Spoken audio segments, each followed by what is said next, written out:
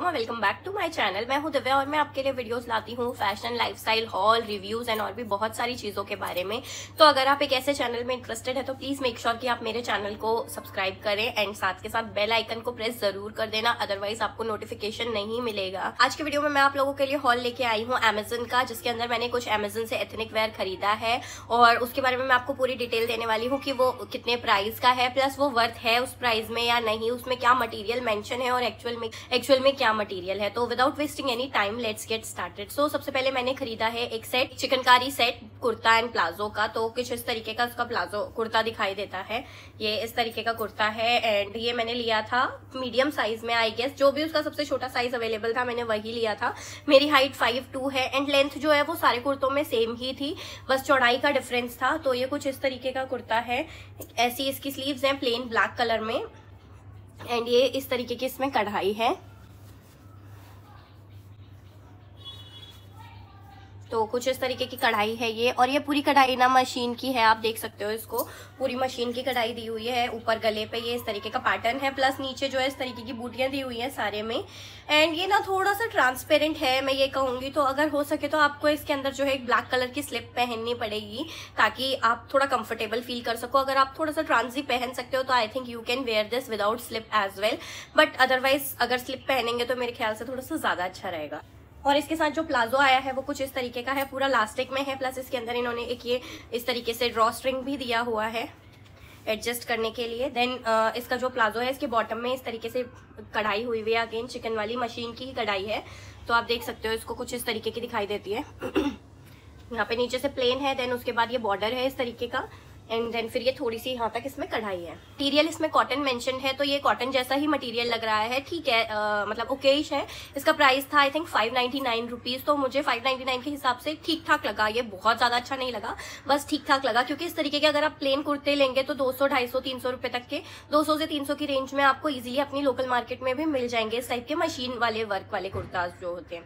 Plus आप side में इसकी इमेज देख सकते हैं और साथ में देख सकते हैं मेरा ट्राई ऑन हॉल की किस तरीके का लग रहा है। ऑल्सो अगर आप की बॉडी मेरे जैसी है और मेरे जितनी हाइट है तो हो सकता है कि आपको थोड़ा सा इसको फिट भी कराना पड़े अपने लिए, क्योंकि ये एग्जैक्ट फिट नहीं आएगा, ये काफ़ी लूज है मुझे भी।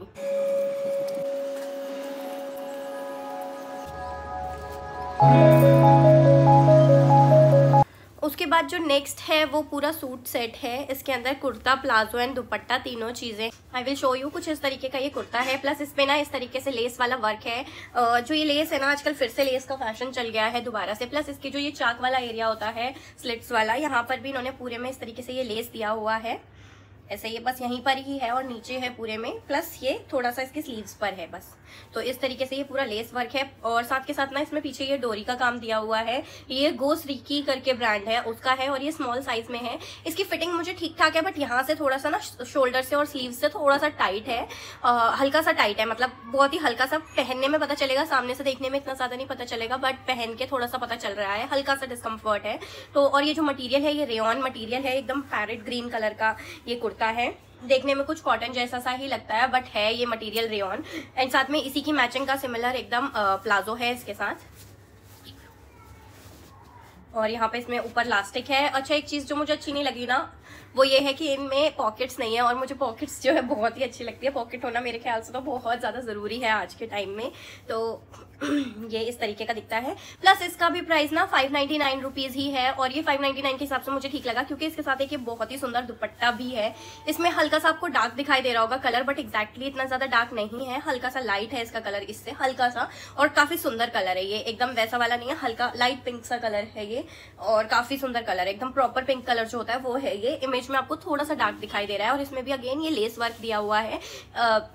लहरिया प्रिंट में ये दुपट्टा है, ऐसा मेंशन है और इसका भी मटेरियल जो है रेन है प्लस ये साइड में इस तरीके की लेस इसमें प्रोवाइडेड है यू कैन सी पूरे में ही और काफ़ी सुंदर है। ये देखने में बहुत अच्छा है, ये मुझे सही लगा कुर्ता प्लाजो, ये अच्छा है।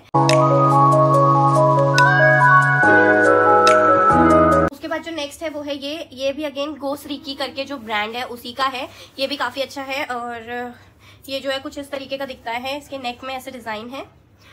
इस तरीके से। ये डिज़ाइन है और साथ के साथ इसमें ये लेस प्रोवाइडेड है। साथ में इसी की स्लीव्स पे भी यही लेस है और इसमें इकत प्रिंट दिया हुआ है। तो इकत प्रिंट आजकल बहुत ज़्यादा फ़ैशन में है और ये कुछ इस तरीके का दिखता है। ये कॉटन में है पूरा का पूरा जो कुर्ता है और इसके साथ का जो प्लाजो है वो भी। तो ये जो कुर्ता है, ये वैसे तो ठीक है बट इसकी ना मुझे, मेरे ऊपर तो एटलीस्ट ये अच्छा नहीं लग रहा है इसका लुक प्लस इसका जो स्टाइल है, वो थोड़ा सा ना बड़ा डिस्टर्ब सा है मतलब सिमेट्रिकल सा नहीं है इसका स्टाइल तो इसलिए मुझे ये कुर्ता इतना अच्छा नहीं लगा। इसमें आप कह सकते हो कि इसकी स्टिचिंग में वो फिनिशिंग नहीं है। जो लुक आना चाहिए किसी भी कुर्ते का पहनने के बाद, वैसा लुक नहीं आता है इसमें। प्लस इसका जो प्लाजो है, इसके साथ वो कुछ इस तरीके का दिखता है। ये सिमिलर प्रिंट में है, एकदम इसका प्लाजो भी, और साथ में इसमें नीचे इस तरीके का काम दिया हुआ है। यू कैन सी इसको किस तरीके का ये दिखता है। काफ़ी अच्छा है देखने देखने में कलर वलर बहुत अच्छा है बट इसका स्टाइल इतना ज़्यादा अच्छा नहीं है। या तो कुछ इसकी स्टिचिंग में ही प्रॉब्लम है, वो फिनिशिंग नहीं है, वो लुक नहीं है जैसा आना चाहिए था। बट अदरवाइज़ मटेरियल और कलर तो इसका अच्छा है। आई डोंट नो कि ये मेरे ऊपर अच्छा नहीं लग रहा है या फिर ये एक्चुअल में ही अच्छा नहीं है।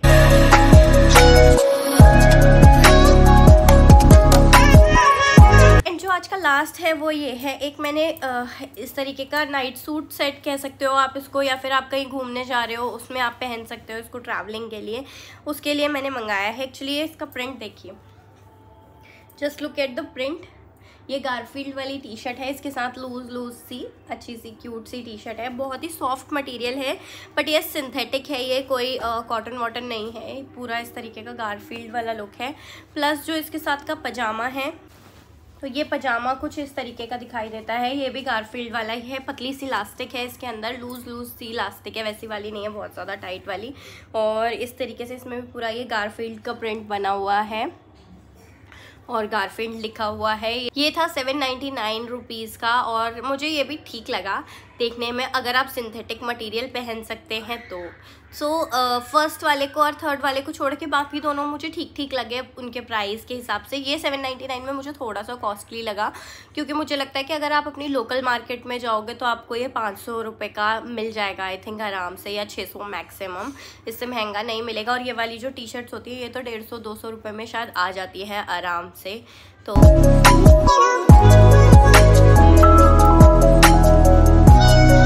इसलिए आप देख सकते हो प्राइस के अकॉर्डिंग प्राइस मैंने सबका मेंशन कर दिया है प्लस मैंने ट्राई ऑन भी सबका दिखा दिया है। तो गाइज़ आई होप आपको वीडियो अच्छा लगा अगर अच्छा लगा है तो प्लीज़ मेक श्योर कि आप मेरे चैनल को सब्सक्राइब कर ले। साथ के साथ बेल आइकन को ज़रूर प्रेस कर देना अदरवाइज़ आपको नोटिफिकेशन नहीं मिलेंगे। Till then bye take care stay safe see you next time